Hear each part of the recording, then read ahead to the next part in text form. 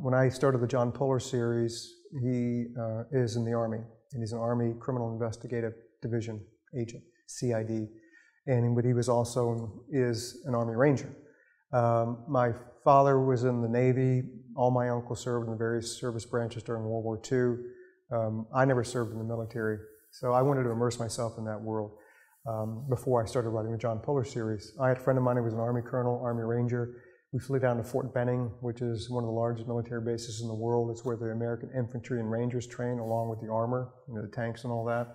And I spent three days at Fort Benning getting my butt kicked from one end of the base to the other, uh, doing the parachute jumping grounds, uh, which is quite interesting. Not something I'd recommend to many people to do, particularly if you're afraid of heights. Um, and I did the sniper range where you're firing all sorts of weapons laying on the ground. And, and I fired the 50 caliber machine gun on a special firing range because the 50 caliber machine gun, the bullet doesn't have to hit you to kill you it goes past you with such velocity that it can actually rip a limb off without the bullet actually hitting you, and that's how powerful. And the 50 cal doesn't wound, it vaporizes. So whatever it hits is gone, it's totally extinguished.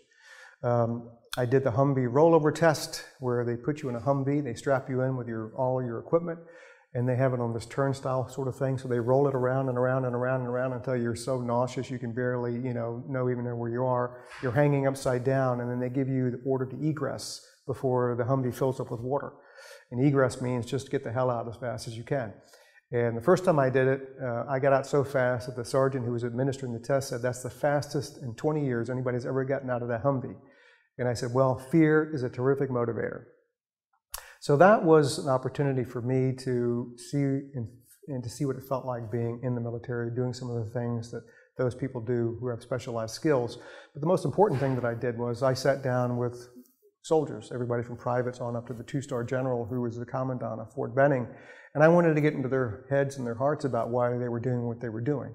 Back then, Iraq and Afghanistan were going hot and heavy, so how it worked with infantry, uh, whose average age, by the way, was 18 and a half, and we have an all-volunteer army, so all the uh, men who were in the military had volunteered for this.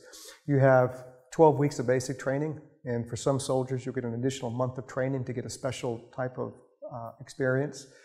And um, then right after that, you're on a plane to Afghanistan or Iraq. You're going to be in harm's way. You're going to be in combat. And I asked some of the soldiers, you know, you're 18 years old. Why did you make this choice? And some said, you know, we were attacked on 9/11. They attacked our country. I want to take the fight to them. I want to defend the United States. Some others said, this is the only chance I have at a good life. I come from a place with no jobs, no future, no hope. Army's going to teach me some skills. I'm going to make a little bit of money. I might be able to go to college. And this is my only shot, if I survive the war, at a better life, and I'm going to take it. So those are things you can't Wikipedia, by the way. You have to just sit down and listen to people. And my experience and adventure at Fort Benning allowed me to write a much better series with John Puller because I really felt like I had immersed myself into that world.